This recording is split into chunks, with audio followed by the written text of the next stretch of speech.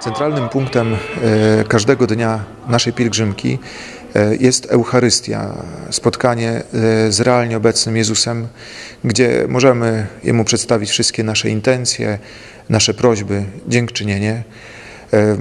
Pielgrzymka jest po trasie w ciągu dnia więc mimo zmęczenia, często bardzo dużego, pielgrzymi uczestniczą w tej Eucharystii E, przyjmują komunię świętą, autentycznie modlą się. E, po mszy świętej też zawsze e, jest adoracja Najświętszego Sakramentu lub w ciągu dnia, w innym momencie. Też widzę, że pielgrzymi mm, zatrzymują się, zamiast gdzieś pójść sobie jeszcze odpocząć na, na, na trawce jakiejś, coś zjeść, to chcą odpocząć przy Jezusie.